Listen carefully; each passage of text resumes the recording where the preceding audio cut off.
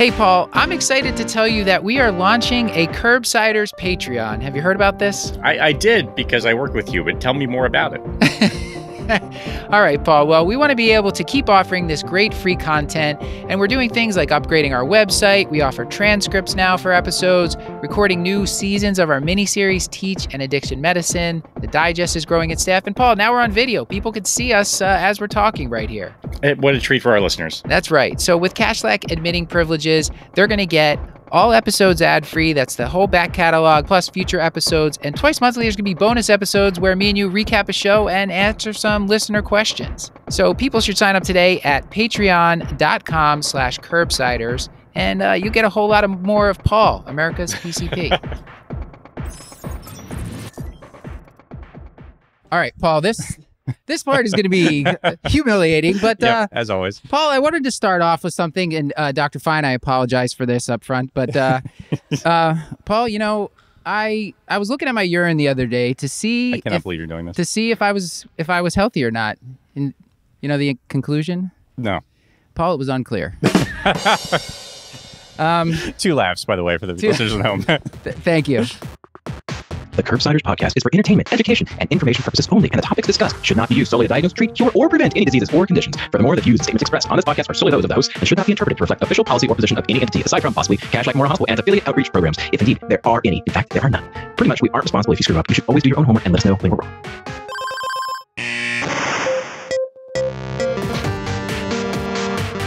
This is a live podcast, so welcome back to the Curbsiders. I'm Dr. Matthew Frank Watto here with my great friend, Dr. Paul Nelson Williams. Paul, how how are things going? Great. I'm good, nervous, um, but glad to actually be doing a live event. So nice to see everyone here. Thank you so much. And uh, Paul, would you remind it- people what is it exactly that we do on the Curbsiders? Of course, we're going to talk to our great guest, Dr. Derek Fine, about hematuria, but what is it that we generally do on this show? Sure. As a reminder, we are the Internal Medicine Podcast. We use expert interviews to bring you clinical pearls and practice changing knowledge. And we have the great Dr. Derek Fine with us to talk us through some of the evaluation for hematuria. And I'll let you tell us a little bit about our, our guest today. All right. So, Dr. Derek Fine, he is self described as a Hopkins lifer. He's been there since medical school. He uh, was recently clinical director of nephrology here. He's a professor of medicine. He has a focus on HIV, kidney disease, and lupus. And you know, without that, Paul, I think we should just jump right into this and uh, maybe get to know our guest a little bit. What do you think? Absolutely. Okay, so Derek, first question, uh, an easy question, I think. Uh, what is a hobby that you have outside of medicine? Then we're, we're going to start, you know, ramping it up uh, after Sure. that. So I- I don't have any major hobbies where I do something a lot. I would say it changes over time. My big hobby is my family. I work hard. I love my work, so it's sort of my hobby, and I get pleasure out of my work. I kind of don't feel I need a whole lot extra. But um, recently, I've I've it, with YouTube, I've gotten into chess again. I was an avid chess player as a kid, and my son and I watch YouTube videos, and we're trying to learn some new openings. So, and we have like a, a Wednesday night call where we discuss uh, chess games and things. So I'd say that's become a little hobby. Not a That's lot of time good. for it, That's but a it's good, fun. that's a good game. And the YouTube videos you're watching, are these chess matches or tutorials or what, what, what does this entail exactly? I, yeah, I, th- I, I sort of thank God I, I didn't have YouTube as a teenager because I actually would have probably just watched would be a chess videos all day. Yeah. It's unbelievable what's out there. Um, people who are masters teaching you how to do things and uh, you know strategies, and then just watching games, the World Championship, which so it's nice to to just watch the games and have commentary at the side and the computer telling you who's going to win, and kind of fun. we got a chessboard for Christmas, and I made the mistake of my wife and I could beat the kids pretty handily because they had never played, and even though I hadn't played in a long time. And then I like made the mistake of showing my sons that there's like different openings and that YouTube can teach you them. And now like Oh, my yeah. ten year old can beat everybody in the house, Yeah. and he's like because he's he's very tricky to begin with, and now like he found chess is a tricky game, so that's good. Yeah. Um, Paul, anything you want to ask before we get to the case? Sure, and I'd love to ask any favorite advice or feedback that you've received or given uh, during your career or training. I think there there's a couple things that stand out. Um, one is my, my father always told me, you know, Derek, find something that you're passionate about and you'll become good at it. I thought that was good advice. I sometimes don't follow that and then I get in trouble. Um, and then my former chief once gave, he actually gave this grand rounds, Paul Scheel, and he said, you know, pick up the phone. And the advice was when someone calls you, pick up the phone because you never know what's on the other side that could sort of change your life. And I think, or change a patient's life. And, and I think that's come true many times. All right, terrific advice. So, Paul, I think let's let's get to a case because we I want to spend plenty of time on the clinical aspect of this. So, why don't you read us a case from everyone's favorite hospital, which is a real place, at least in our hearts, in our uh. Kashlak Memorial. So, our case from Kashlak Hospital, we're going to talk about Mr. Jones. He's a 40 year old gentleman who follows with you for primary care. Um, you being us collectively. His past history is noteworthy for high blood pressure. He's on five milligrams of amlodipine. He has obesity with a body mass index of 31, has some tobacco use. You're a little bit surprised to see him since you just saw him about four months ago, and your visits are mostly consist of counseling and yearly follow up. Um, at that last visit, he noted some low back pain, so you recommended NSAIDs because that's what we do. Um, maybe we forgot to give a duration or limitation. In any case, he shares with you that he's been seeing blood in his urine for the past two weeks, and he is understandably alarmed by this. So, Derek, before we get too deep into the case and how you even sort of conceptualize the workup of hematuria, I'd like to ask um, we like to start with definitions, and hopefully we can agree that hematuria is blood in the urine, but is there anything else that we should be thinking about? And I guess other I would follow how much blood do you have to see before you even we start to be concerned or, or so yeah, let's just start. Tell, tell us about hematuria is what I'm asking. So I think over time the definitions change, but currently most believe that three or more red cells in the urine is, is hematuria. And one time of three is enough to prompt a workup for hematuria. Now, gross hematuria is just visible hematuria. Yeah, I, I think microscopic hematuria is one of those banes of if you're, well, any doctor really, but usually the general internist, it's like our responsibility to follow it up. Everyone else can be like, oh yeah, we saw some hematuria. You're tell your PCP about it. Right. So uh, I'm I'm curious to to get your advice on this. But what else what else do we need to know about the history here? Uh, we've given you some that he's he's chewing down NSAIDs, but what else do you want to know about Mr. Jones? So, so usually I start off, you know, I'm going to get the call. Can you see this patient?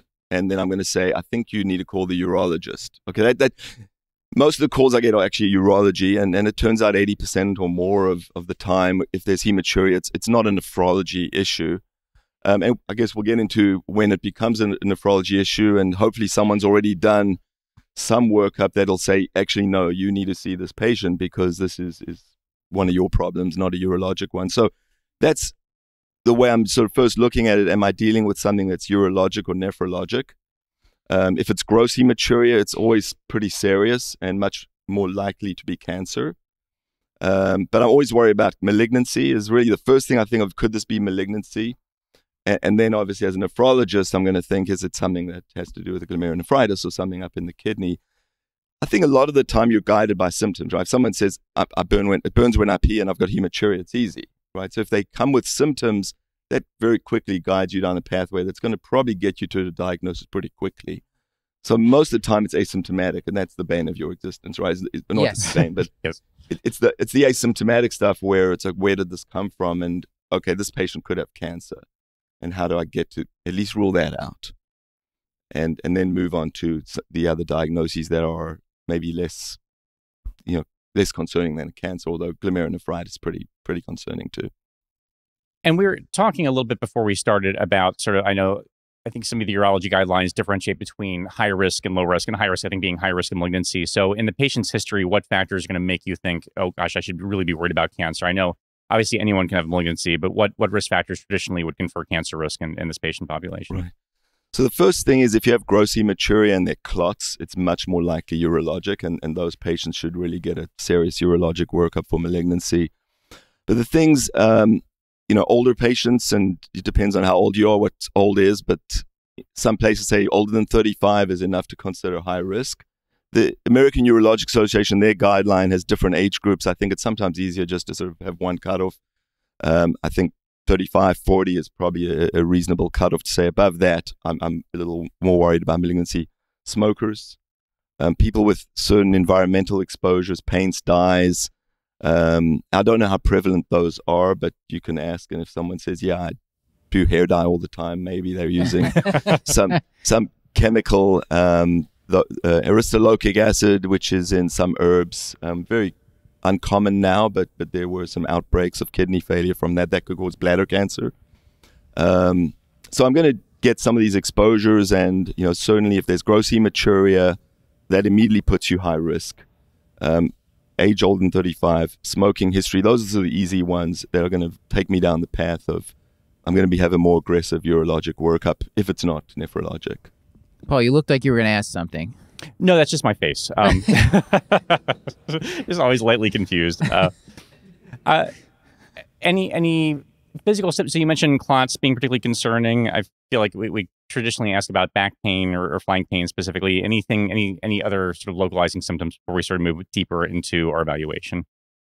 Well, if, if we're thinking certainly on the urologic side, anything that might suggest you know pain or obstruction, um, flank pain, bladder pain, dysuria, the, the usual symptoms you would think about. You know, if you're thinking about UTIs, kidney stones, you know, cysts that are bleeding in the kidney. Um, when it comes to the diseases I take care of, I'm looking for systemic symptoms. So if I'm thinking things like lupus, vasculitis, I'm, you know, I'm, I'm looking at pulmonary renal type syndromes, thinking the ANCA vasculitis, GBM disease. If if there's, I, see my favorite rheumatologist in the room, uh, who taught me most rheumatology that I know. Um, you know, I'm going to go head to toe. You know, just one of a red eye and pain when they look at the light. I'm thinking uveitis. There's something systemic going on. Do they have a rash? Do they have a malar rash? Ulcers in their mouth. Sort of thinking through the lupus type of um, rashes, palpable purpura moving me water vasculitis. So I think a, a good exam is is going to at least guide you, and then lab testing will guide you. Um, and then you know, kidney biopsy or not, it's going to be where it's going to go. I wanted to share an anecdote that might set up the next part of this, Paul. So what one uh, we had a sponsor a while back that was like sending us a lot of produce. I don't know if you remember that, and they were sending it was like it was one of those like slightly imperfect foods uh, ones. I don't think I got this. Okay. Anyway, well, I, I, probably should have looped you. This I probably yeah. should have looped you in on that one. But uh, they were for some reason they were sending me like bunches and bunches of beets, and I have like this. I was raised like not to waste anything, so I was eating a lot of beets and it was horrific. Like urea, Paul, seems to be a real thing. So I'd like to talk about other things that can cause maybe pseudo gross hematuria. And uh, thank, sorry about the too much information, everybody, but beeturia, I can, can, attest it's a real thing. So, so the first time I saw a case of beeturia was in high school.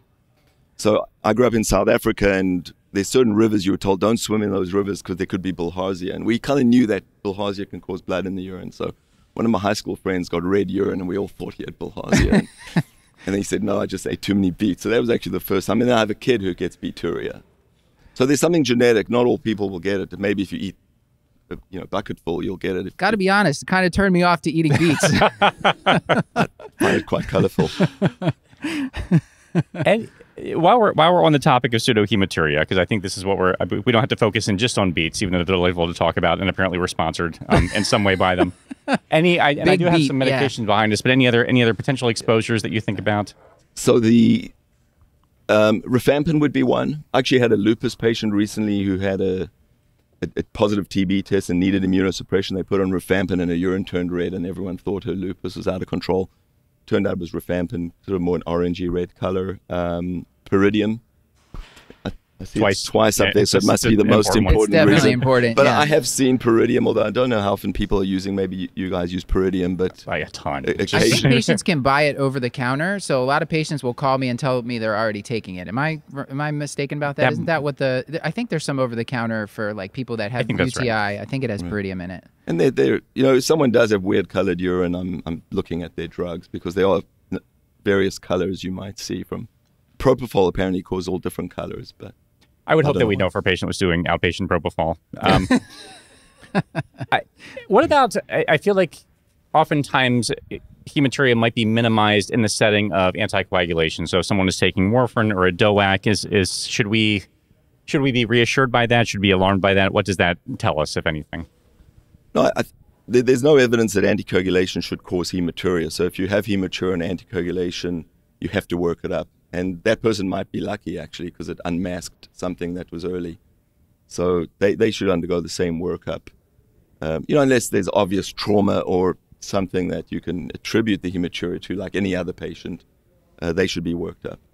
Yeah, I, I seem to have, Paul, I don't know if you've had this patient in your practice, but I have I've had at least like three or four old men that either they said they went on a long like bumpy car ride or a cycle ride and then they came with hematuria or they held it for a really really long time and then they said they had hematuria so I it was hard to even convince them to get a workup because they're like oh I think I know why this happened and I was like I don't know if that's a thing like I So exercise induced hematuria is a real thing. Mm-hmm. Um, I've seen it a few times. Um, people go you know run a marathon. Mm-hmm. I don't know if it's smushing the red cells in the foot and then you get hemoglobinuria, oh um, interesting or if it's shaking the bladder around. Yeah but but very well described. You know, if someone says to me, "Look, I I just ran a marathon. I have hematuria," I'm first going to check their CK actually, but You're right. um, the other cause of uh, pigment in the in the urine. But um, I, I would probably not do a CT immediately on a patient like that. Mm-hmm. Paul should we go to the next part of the case We should. All right. So, do we have a little bit more history? Mr. Jones tells us he's been having intermittent hematuria for about the past two weeks, and then it has progressed to be fairly consistent. So now he's having it almost all the time. He's without dysuria. He's not having flank pain. There are no fevers or chills to make us think that this might be a cystitis. He has no history of kidney stones to his knowledge. He denies new sexual partners. He's been without recent strenuous exercise. So, unfortunately, no marathons for Mr. Jones, um, other than some lumbar back pain, which is chronic. And he does say, Well, I did have a cold a couple weeks back. He otherwise feels reasonably well. So we have a little bit more history, maybe not as thorough as we could have taken, um, considering we think about rheumatologic stuff. But does any of this help at all? Does this any of this start to form a differential for you? Not yet. I, I think I'd need some labs at this point. Um, he did take non-steroidals. Um, if you have chronic, long-term non-steroidals, you can get papillary necrosis. He's got some back pain. Um, back pain could be kidney pain. It depends where it is. Um, and you know, could have a stone, I guess. But bilateral, you know, sort of lower back pain. Generally, that's not the case. So at this point, I'm thinking I need some more testing. I need to sort of focus it a little um, and, and figure out if I'm actually dealing with something that's something a nephrologist should take care of or not. All right, let's say we do an examination because we are excellent doctors. Uh, he is normotensive in the office. He does not have any obvious rashes or oral lesions. His cardiac exam is not exciting. His lungs are clear to auscultation. No lower extremity edema. You check a point of care urinalysis in the office, and it is indeed cloudy. It is red. We do the point of care urinalysis. There is indeed blood. We can look see it just looking at it, but the dipstick shows three plus blood, trace protein, no glucose. pH is 6.5. The specific gravity is 1.022. No ketones, and urobilinogen is 0.2 milligrams per deciliter. So one of the the frameworks that I've heard about thinking about hematuria and what, what you've alluded to is sort of separating glomerular from non-glomerular causes. So as we we have this point of care analysis, does that change anything for you? And then I guess where would you go from here? So the problem with the urinalysis is the urine protein is not accurate enough. So trace protein could be 500 milligrams, could be zero, could be two grams. Um, it really depends on the concentration of the urine, which here is 1.022, relatively concentrated on the specific gravity.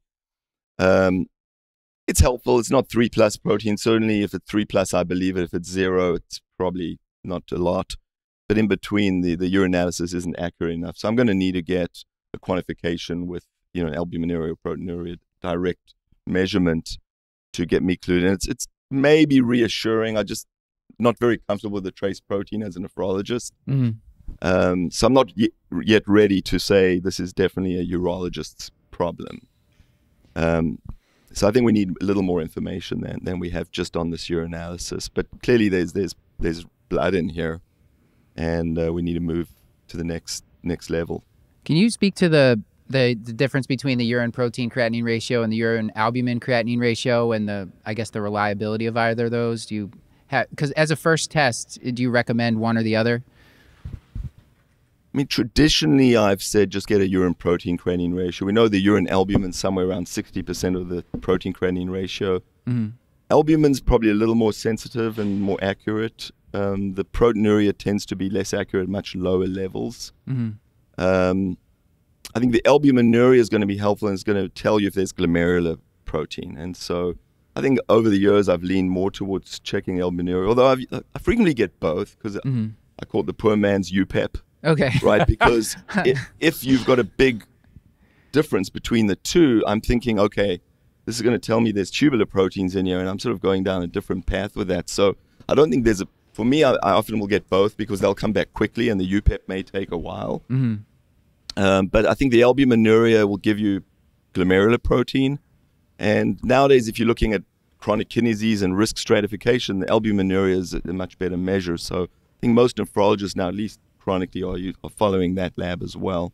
But generally, you're going to get the same information as a screening test, and mm-hmm. it's going to be better than a dipstick. Okay. And I, would like to talk a little bit more about the urinalysis. That we were actually um, joking before this presentation. I, we typically don't see casts reported, but I feel like there's lots of parts of the urinalysis that I just cheerfully ignore and just hope that they're not actually ever going to become relevant. So things like crystals, um, I, I, just I'd rather just not know. Um, so I, I, guess could you sort of talk us a little bit through some of the specifics about the urinalysis that might be particularly helpful? So you mentioned obviously the protein, the albumin stuff would be very useful, but is, are there other things that I should not be ignoring in terms of the urinalysis that might be helpful or help guide our differential yeah. at all? So a couple of points I'll make, and some for the audience here is so. For example, our urinalysis in our lab will report the number of cells per ml, and then it'll report per high power field.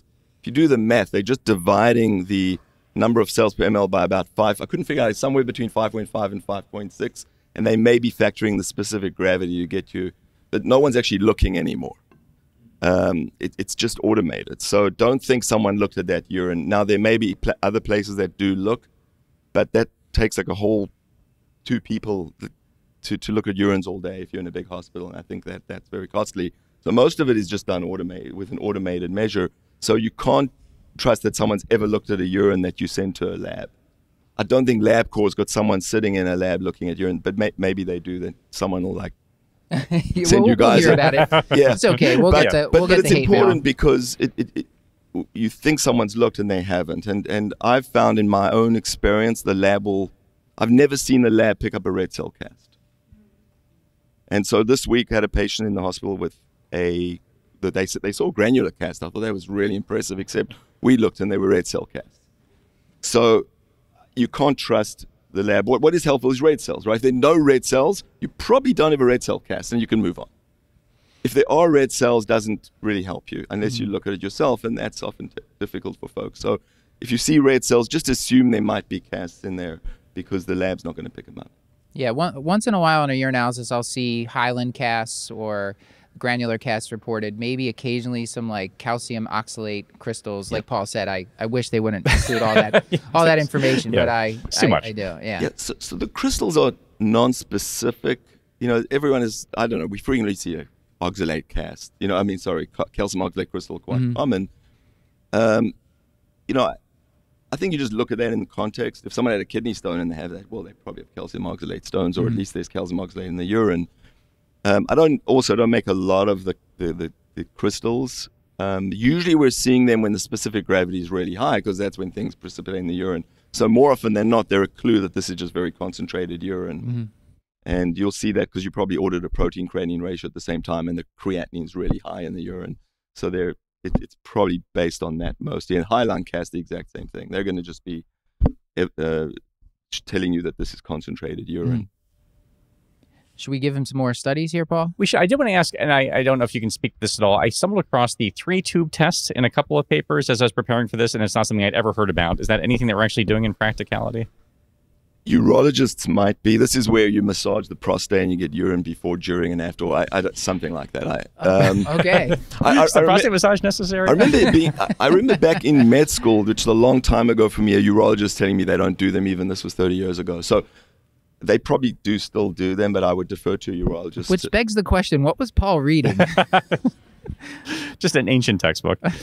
Um, all right, so we get some urine micro back from the lab. Zero to five WBCs, RBCs greater than 20, uh, epithelial cells zero to 10, some calcium oxalate crystals, of course, um, few bacteria without growth. So, based on this information, uh, we'll say Matt decides that Mr. Jones's hematuria is likely non glomerular and refers the patient to nephrology, or not nephrology, urology. So, in your your experience, recognizing that you know nephrology is your world, but eh, since you're an, our expert in hematuria, what does the urologic look like in terms of working something like this up? So, if we're convinced this is non-glomerular bleeding, we send the patient to urology. Where might they go from here, and what what would the guidelines tell us to do? Right. And and often the the intern is starting the workup anyway. You know, it doesn't get to urology until you've done some of these studies, and or they show up in my clinic, and I say, okay, I'm going to do the urologist a favor and get the workup done before they see urology. So, sort of, what is that workup? And I think that does depend somewhat on the risk. Um, so, if, if you look at some just basic, if you want to just keep it simple, I've got risk factors. I'm older than 35. I'm a smoker. Maybe I've got exposures, um, gross hematuria. I'm going to start with imaging. Um, and generally, the best test is a CT with contrast, a CT urography. It's going to pick up masses, it's going to pick up tumors, it's going to pick up stones. Sorry, tumors and masses are the same thing. Sorry, cysts, masses, and, and stones. You'll pick those all up. Um, you'll see um, anatomical abnormalities. Um, you'll see things along the, the, the ureters, and if you go down into the pelvis, you may even see masses in the bladder or see bladder wall thickening, things that might clue you in. But a CT is the best study. The urology recommendation would say if it's a low risk patient, they, so they have this intermediate risk where you would get an where you could do an ultrasound, and then the low risk, if you want, you get an ultrasound. I'm generally going to get an ultrasound on everybody who's got hematuria if I really don't have a good alternative explanation for that hematuria. And then if that imaging's negative, they're going to need a cystoscopy because uh, bladder cancers are not uncommon. And that's where the money is. Now, I get asked something about you cytopathology. Um, my view on that is if the cytopathology is positive, they're going to get a cysto. And if it's negative, I'm still going to get a cysto. So, and, and, and it's not in the guidelines either, but the urologist will get cytopathology. And by the time they're seeing the urologist, there's good reasons why they would be doing that but I'd leave that to their evaluation.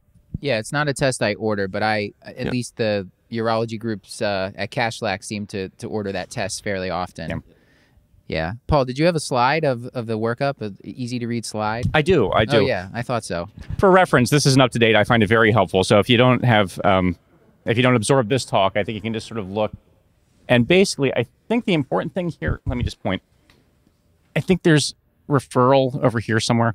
Um, so that, that's probably the most useful thing. Um, but I'll, I'll so they could to, have simplified so, it to one box. if, if, you do go UpToDate, the two biggest boxes in there are the ones that you need to look at. The rest probably you can work out yourself. You probably know it already.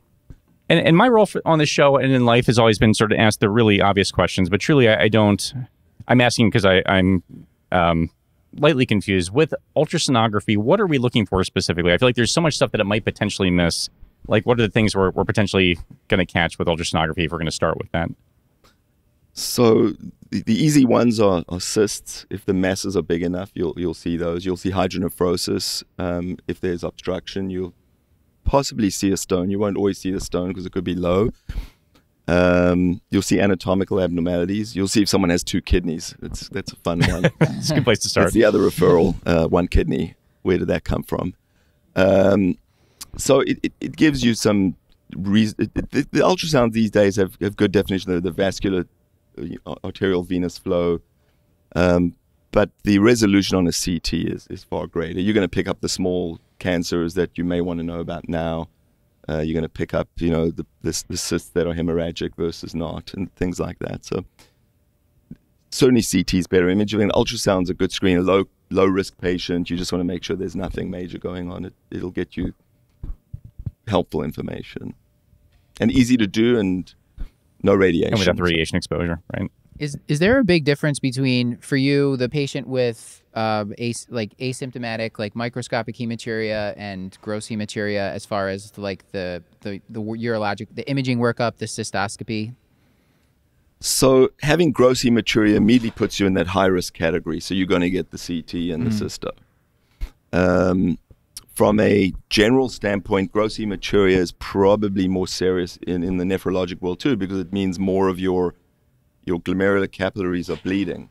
Right. So, question I often ask med students is, how come you can have a patient with hematuria but no proteinuria? Right, like red cells are way bigger than protein, and it's just when you have hematuria, it's actually bleeding. You know, mm-hmm. the, the little capillaries have popped, and so if you see a lot of blood, it means a lot of capillaries have popped and so it's generally going to signify more serious disease. So yeah, it does it does up the ante if I'm if I'm seeing gross hematuria. Mm-hmm. So the, the, ultimate workup's pretty much the same. Same workup but, though. Ultimate. But it's just you're you're more heightened. You're more vigilant about the person with gross hematuria and more worried for something more. Yeah, I serious. might make a phone call instead of just sending some labs and okay. then Understood. putting it in the computer and waiting six weeks for them to be seen. Yeah. Okay. So let's let's say for the for now because we're going to get to the glomerular bleeding obviously, but um, while we're here in urologic categories, let's say we've done all our due diligence. They've gotten the cystoscopy and they've got imaging and all this stuff comes back stone cold normal for the most part. So no cancers. Shoo, that's good news. But the patient's still peeing blood, which I, have had. We, I've had cases like this. So where what's some of the more exotic stuff that we would go from here if we if we're still thinking this is non-glomerular, but we, we need to figure them out. Why why else might they having gross hematuria? Right. So firstly, there are some nephrologic, like mild IgA nephropathy, or there's a disease called thin basement membrane disease. You can argue if it's called, if it's a disease or not, but they can present with hematuria without proteinuria. So once you've done all your workup, you circle back to those type of diseases. They generally aren't causing a well, they, they can cause persistent hematuria, but not gross hematuria it, with those diseases. Um, so if, if, if I've got someone who's got recurrent gross hematuria, I've certainly had those sort of patients. What sort of things am I thinking of?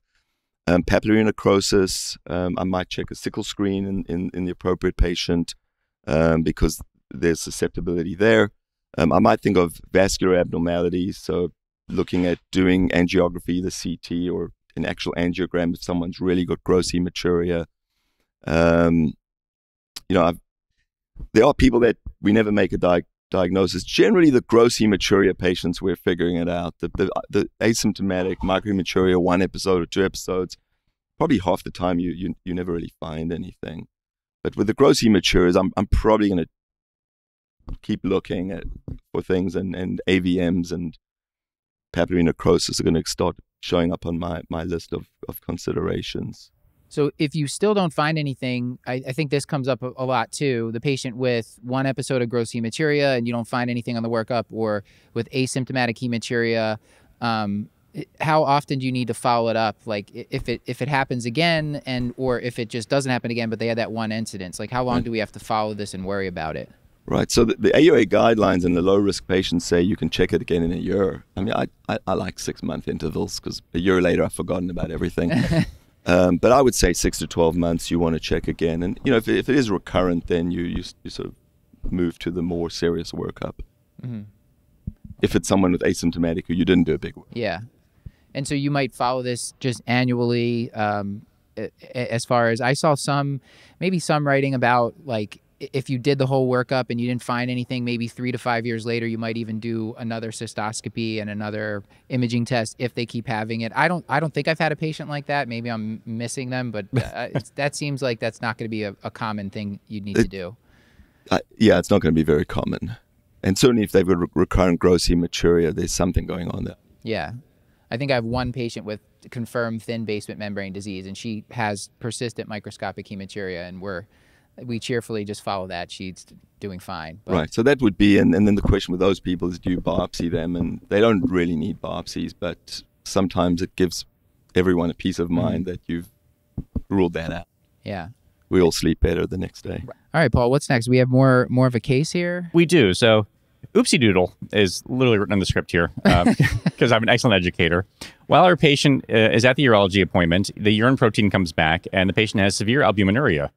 So we look at the part of the urinalysis that we usually ignore, and the lab notes erythrocyte casts. So we call the patient, we leave a frantic voicemail as the patient's undergoing cystoscopy saying, Hey, I actually think that you should see a nephrologist instead. So Mr. Jones goes to nephrology, completely bewildered, um, someone angry at his primary care doctor. So I might ask, so now now our patient is squarely in your hands. Now we have a patient who has gross hematuria, but now albuminuria. So we're, we're much more solidly in glomerular bleeding. So what what might your workup look like and how how might you address this particular patient now that he's landed on your doorstep? Mm. So I assume the workup, much of the workup was done earlier. So the most important is what's is the albumin in the urine and what's my serum creatinine, what's my GFR, right? If, if I've got a creatinine that's going up and I'm not obstructed, I, am really worried about a, a, a, renal process, right? Proteinuria is going to clue me in, and then systemic symptoms. Hypertension. This patient had hypertension it was new. Generally, that's not going to happen with your urologic diseases. Um, and, and those are sort of the big ones that, that are going to sort of very quickly lead me down the nephrology pathway. So you can make both appointments at once. And but we're really looking at kidney function. If the if the creatinine is going up, and, and then the question is there rapidly progressive glomerulonephritis, that's going to be obviously ser- the most serious of the the nephrologic uh, issues. And and the differential is pretty similar if it's rapidly progressive or not. Uh, you still go through the same diseases. It's just more likely some than others if it's rapidly progressive. Yeah. So this person, this would be somebody. So if we're the primary care, we have somebody with uh, hypertension, albuminuria, new gross hematuria. We should be very worried and get them to you quickly, especially if the creatinine's rising. Yeah. No, I, I would say that it requires urgent evaluation if the creatinine's rising. Mm-hmm. You know, if they've had hematuria for six months and the creatinine's the same as it was six months earlier, they probably don't need to see me tomorrow. Right. Um, but but certainly these are serious diseases that can, if you don't catch them early, you, you lose kidney. So you know, time is kidney, Yeah. and so they, they do need a very uh, rapid evaluation. Want to get into the workup for? Yeah, no, I feel like we we could ev- at least even help if we were um, better doctors. We would we would have done a fairly thorough workup before sending them to you. So I guess I would like you to sort of if you could just talk us through what what reasonable baseline labs you might check in this patient. And I I think some of this might knee jerk order them because it's an UpToDate. But if you could even sort of talk us through what you're looking for with these things specifically, that would also be really helpful. Right. So, you know, I think the, the, the way to approach it is say, what could this patient have? And, and this would really apply to our rapidly progressive GNs or just GNs in general. So, you know, hematuria with proteinuria, I've probably got a, I'm in the glomerulonephritis realm, but, you know, we, we do see hematuria with proteinuria in our sort of nephrotic type of disease as well, which um, are probably going to be assessed somewhat with, with these labs as well. So, if I'm thinking glomerulonephritis, I'm, uh, the way that you're going to actually divide them up that makes it a little bit easier. Otherwise, it just is like a blur. Like all these diseases. I'm going to send these labs, and hopefully, I hit it right. Um, so I think of sort of three big groups. Right. The one is the easiest one, anti-GBM, um, and if it involves the lung, we call it Goodpasture's. If it doesn't involve the lung, it's just kidney. We call it anti-GBM disease. And these diagnoses are all made on immunofluorescence. Really, like when you start putting them in the three categories. So I've got my anti-GBM disease. I've got my ANCA GNs or my pauci-immune, right? When you do the immunofluorescence, there's not a lot of immuno, there, there isn't, there shouldn't be antibodies there. And then we have our immune complex GNs, right? That's your big three families. The anti-GBMs are usually pretty easy to know because if, if they don't have a rapidly progressive renal failure, it's probably not that. Throw that away. Um, ANCA GNs, um, contrary to popular belief, they don't have to be rapidly progressive. We have many patients with you know anti-MPO antibodies, and they've been around for a year, and they kind of didn't get blown off. But it was like, well, I don't think. I think it's just the bystander, and the creatinine's rising slowly. You do a biopsy, and yeah, there's one crescent. It's not a fulminant crescentic GN. Um, so we can't rule them out by a non-rapidly progressive disease, and that's why the, the workup tends to be similar for rapid versus non-rapid. Um, but then I've got my ANCA GNs, and fairly simply, I'm going to send off ANCA antibodies, uh, which is really anti-MPO and anti-PR3 antibodies. Um, and think about if you have both present at the same time, think about drug type of induced ANCA GNs. And then my immune complex GNs, which are, that's where you get a whole list. And, and one way then to divide that up is looking at complement levels. And um, my low complement versus normal complement disease. And it, it's not that hard to to remember because when we have hypercomplementemia, they're really just three big families. One is my infection-related GNs, um, one is lupus, and then one is the sort of this MPGN family, which you see with things like Hep C. You could see with monoclonal gammopathies. There's a whole differential diagnosis for for MPGN, but that's like the big the big three. They can have normal complements. So you've always got to include them anyway. And then on the the normal complement immune complex, I'm thinking IgA, Henoch-Schönlein purpura, and that's sort of that's really it for the you're going to hit it 90% of the time you're going to get your diagnosis in that group. And then there's a whole lot of mimickers um, of, of an RPGN so hiv nephropathy can give you a rapid loss of kidney function generally no hematuria though so it may not make it to this lecture. Um, hep c related diseases usually on the list. It's an mpgn generally or cryoglobulins can, can also cause renal failure. The other mimickers would be um, myeloma you have rapid renal failure. Again, you should not see hematuria, but people with myeloma can. There, there's a whole lot of other diseases for another day that monoclonal gammopathy is associated with. There are 10 different renal diseases. It's not always just the amyloid or the casts. Um, scleroderma can cause, you know, or, or thrombotic microangiopathy um, would also give you rapidly progressive renal failure. And there you're looking at, you know, someone's got a hemolytic anemia, thrombocytopenia. So they're those sort of mimicker groups that don't quite fit into my GNs, but can look very similar. So we have to work all those up as well. But so the basic here is the C3, C4 is going to narrow you down to some of those hypercomplementarian diseases, post-infectious GN, ANA, anti-double-stranded DNA, generally lupus, ANCAs, um, our vasculitis and drug-induced um, anti-GBM, as I said, clinically they're usually pretty obvious. Uh, HIV for HIV nephropathy, but HIV can also cause immune complex disease. Hep B, Hep C, Hep B, usually we're getting membranous nephropathy, not usually causing a GN, but it can. Our SPEP and free light chains is, you know, looking for monoclonal gammopathies um, and the various diseases that can be related. So that's sort of knowing what you're looking for makes it a lot easier for me to understand why I'm getting those those particular tests. So sorry, long that's answer. a that's a really nice way to break it down. I, I like that a lot. I feel like I don't know about you, Matt. You don't have to admit this, but I will, just because I'm I'm used to humiliating myself on the show. But like I feel like complements fall solidly in the same realm as crystals, where it's one of those things where like I fire it off, I'm like I, I hope that comes back normal. um, so, but now I actually have a framework, so that's really helpful. Yeah, this I I think I learned that I think I learned this kind of stuff for step one, and then like immediately forgot it. I'll never have to worry about that again. So Yeah. just just keep in mind, normal complement, you can still see all these diseases. So Mm-hmm. for example, in post-infectious, only 75% of folks have low complement. Lupus depends. You know, membranous lupus is 50% and proliferative is 90% low complement. So negative doesn't rule it out. Positive is really helpful.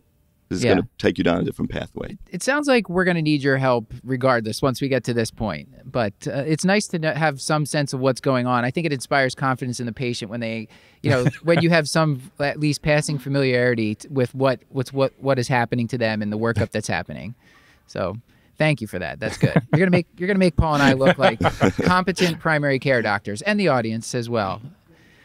Uh, Paul, what's what's next? I, I, at some point we might have time for audience questions, but I, I think for sure we're in the home stretch. I would like it's probably easier to ask at this point. So a patient who's presenting to you um, with glomerular bleeding, is there what would be the instances where you wouldn't get a biopsy? I guess like where where would you be so reassured that I don't have to I, I don't need tissue for the diagnosis? I think if there's very little proteinuria and they have stable disease and we know that they've had hematuria for a long time, so that would make me think something like thin base membrane or or it's a very low level IgA. Um, you know, there, there are debates if you, you know, what do you do in someone who they've got pulmonary involvement, they've got ANCA titers through the roof, and they've got renal failure? Do you biopsy those folks? You know, that gets a little bit. There are a lot of people who won't. I, I'm I'm a big believer in put a needle in it. And- but for many reasons, not only diagnostic confirmation, but you know what what happens is you don't do it, and then two months later they're not getting better, and you're like, oh, now I've got to get a biopsy, and we don't know what we started with, and that's going to make a huge difference into what you may do next. Um, you know, and so generally, I'm getting a biopsy for most of these processes, um, trying to figure out what's going on. But there are, you know, there are times when you, you don't. Obviously, a patient doesn't want it, you're not going to do it. And if they have high risk of of bleeding, um, and there are patients where you know you, you're about to do a biopsy and they say, hey, you know, did I tell you about that hematoma I had spontaneously in my psoas muscle last week? And I say, no, you didn't, but maybe you should go back to your room and not get a kidney biopsy. So there are obviously times when you're not going to do a biopsy. It's just too risky. In general, the risk is low. I'm, I'm telling my patients you've got a one in a hundred chance, less than one in a hundred, of needing an admission if it's an outpatient procedure. And you, things you get admitted for would be an angiogram because the bleeding hasn't stopped, um, blood transfusion, or hemodynamic instability. And these are pretty uncommon, and um, but real risk. Benefit you know, is huge much of the time. So it, it's usually a pretty easy decision, but there there are some times when you're not going to do a biopsy. The last question I have for you, and I, and I don't know that we have to spend a whole ton of time on this, is I, I feel like I, in my reading I've seen that patients with renal transplants and hematuria is kind of fall into a different category. I can tell you as a primary care doctor, if I have a patient with renal transplant hematuria, like it's they're just going to nephrology, toot sweet, like that workup's easy for me. But for you, uh, does that change the way you think about things, or what what do you worry about differently for for a patient who might be transplanted? It, sometimes it does depend what their baseline disease was. So some diseases recur, so I'm going to be thinking about that.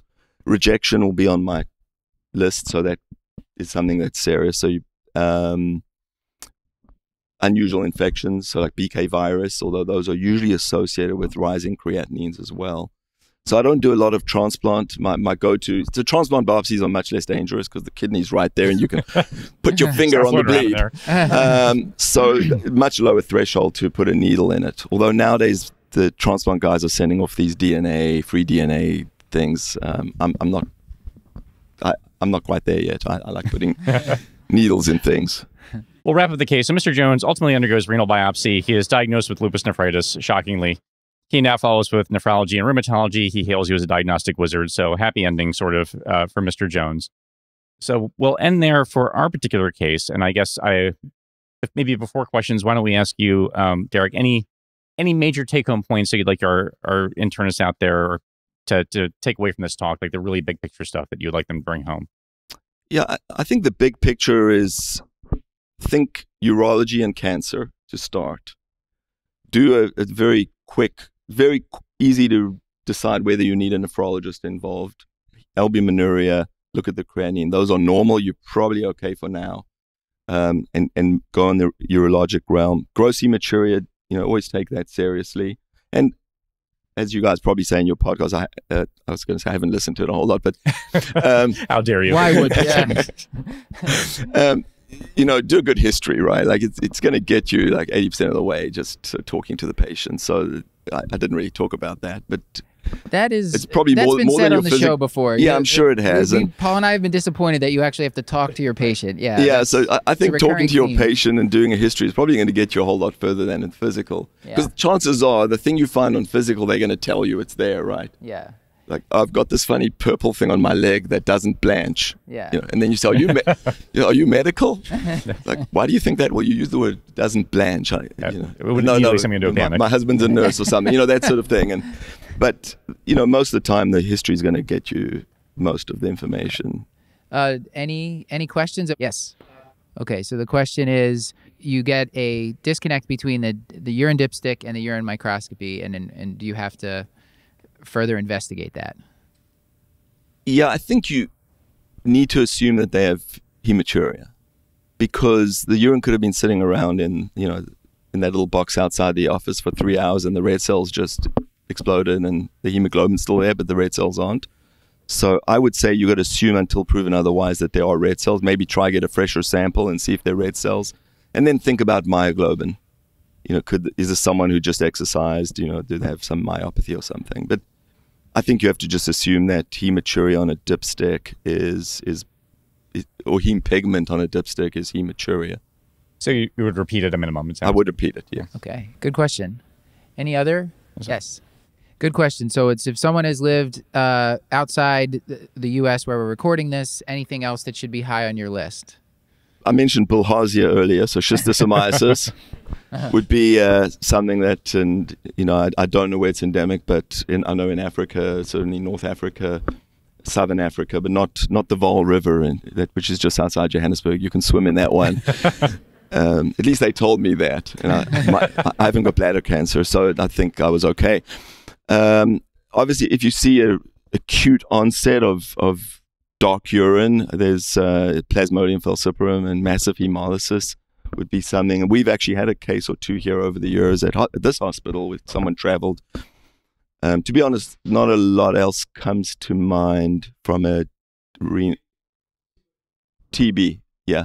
Now, you know, we always hear about TB and if you get white cells in the urine, check a TB. I, I think people who have TB with white cells in the urine are usually pretty sick. You know, if, if they're like asymptomatic, they probably don't have TB causing pyuria or hematuria. But yeah, I guess that, that is on the differential diagnosis. It might even be on that slide that's got a thousand different there's things on it. there. Okay. Oh, so the question is if if we don't see anything and the workup's negative, but we think maybe a small stone is passed, how do we handle that situation?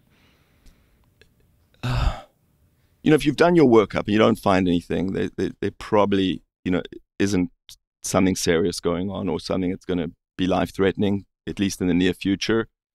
Um, I think that's as good an explanation as any other. It makes you feel better. It makes the patient feel better that, okay, I've at least got some, you know, I'll say these are the things that could do this.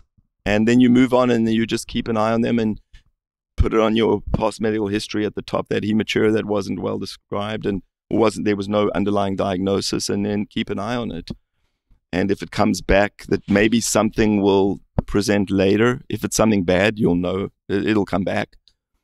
Um, but I, that certainly does happen. People can have asymptomatic kidney stones um, that cause hematuria or asymptomatic you know, trauma. And I don't mean to call you out, but your look of existential pain at that question made me feel better as a primary care doctor. You had the exact same feeling. uh, one last question.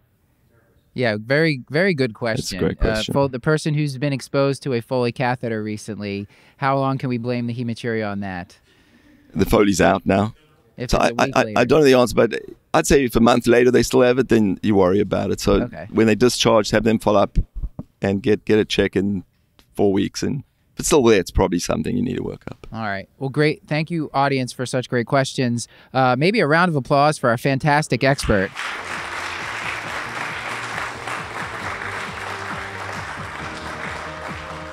And uh, I'll ask Paul uh, if you if y'all would sit for 30 seconds through an outro. Paul, you want to get us to it? Sure, this is the most humiliating part. Um, this has been another episode of the Curbsiders, bringing you a little knowledge food for your brain hole. Yeah, yummy. Did someone in the audience try to say it too? Yes. Oh, thank you. It's catching on, Paul. Hungry for more? Join our Patreon. Oh, this is so embarrassing. Get all our episodes ad-free, plus twice monthly bonus episodes at patreon.com slash curbsiders. You can find show notes at thecurbsiders.com and sign up for our mailing list to get our weekly show notes in your inbox, plus our Curbsiders Digest, which recaps the latest practice-changing articles, guidelines, and news in internal medicine. And uh, you can find the show on YouTube, Spotify, Apple Podcasts. You can send your comments and feedback to askcurbsiders at gmail.com. Uh, a special thanks to Dr. Paul Nelson Williams, America's primary care physician, uh, for writing and producing this episode. And uh, to our whole team, our, our technical production is done by PodPaste. Elizabeth Proto runs our social media. Krista Chu Manchu is the moderator on our Discord. Stuart Brigham composed our theme music. And with all that, until next time, I've been Dr. Matthew Frank Watto. And as always, our main Dr. Paul Nelson Williams, uh, thank you so much.